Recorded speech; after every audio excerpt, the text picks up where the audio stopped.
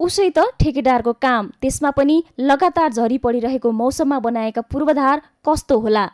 चाविल जोरपाटी क्षेत्रको यो सडकमा रातारात ओछ्याएको कालोपत्रे त्यस्तै एउटा उदाहरण हो।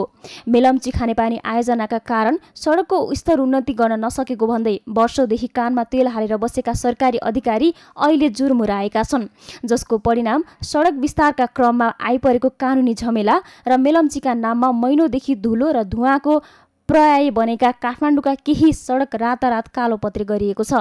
पछिल्लो एक साताको अवधिमा विकासमा देखिएको यो कायापलटको एउटा गतिलो उदाहरण हो गौशाला ट्राभेल सडक खण्ड।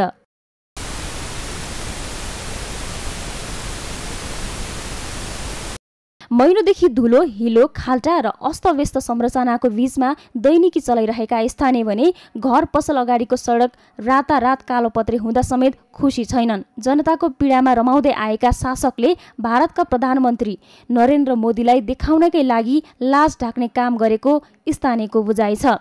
वर्षौँ भयो त्यसमा चाहिँ काहीँ केही एक टिफर रोडा शुद्ध हालिया छैन। सरकारले चाह्यो भने विकास हुँदो रहेछ। तर पनि पानी परे बेला गरे पिच हामीलाई सँगै छ यो पिच चाहिँ मोदीसँगै नै उकेर जानेछ भन्ने हामीलाई लागिरहेछ जनकपुर त्यस्तो फोहोरी सहरलाई अहिले एकदम रमझमको साथ सिँगारिरहेछ जस्तै जुमसुङमा पनि विकासका कार्यहरू रातारात दिनादिन गरिरहेछन्। नेपाली जनताले दुःख कहाँनिर पाइरहेछन्।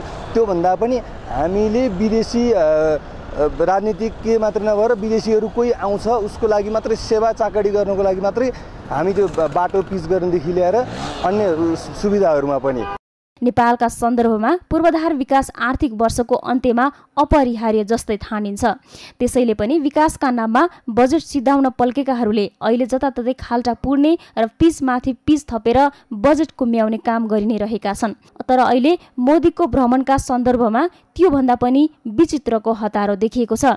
यस्तो रातारात गरेको विकास कतिको टिकाउ होला त? हालसालै गरिएको यो चुचेपाटी आयातको जुन पिचको कार्य छ यस विषयमा विभिन्न जनमानसमा अलिकति भ्रम जस्तो पर्न गयो। यो चाहिँ अहिले भारतीय प्रधानमन्त्रीज्यू नेपाल आउँदाखेरि हतार हतारमा गरेको जस्तो भान परेछ। तर यो होइन यो हाम्रो नियमित प्रक्रियाअनुसार गरिरहेका छौँ।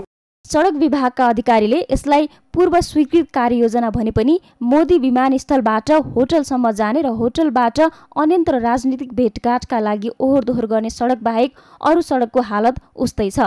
ट्राभेल जोरपाटी सडक खण्डको होटल हायतसम्म रातारात कालोपत्रे भएको सडक त्यहाँबाट दायाँ बायाँ स्तर उन्नति गरिएको छैन। जुन बाटो भएर दैनिक लाखौँ सर्वसाधारण सयौँ पर्यटक ओहोर गरिरहेका हुन्छन्। यो काठमाडौँ चावेल जोरपाटी सडक। यो सडक धुलामे भएको वर्षौँ बितेको छ। तर दैनिक सयौँ पर्यटक तथा हजारौँ नागरिक ओहोरदोहोर गर्ने यही सडक आज कालो पत्र मात्र बनेको छैन। दिनमा दुई पटक धोइ पोखाली गर्न थालिएको छ। भारतका प्रधानमन्त्री नरेन्द्र मोदी बस्ने तारे होटलसम्म जोडिएको सडक खण्ड बाहेकको अन्य आसपासका सडकको दुरावस्था भने हिजो जे थियो आज पनि उस्तै छ।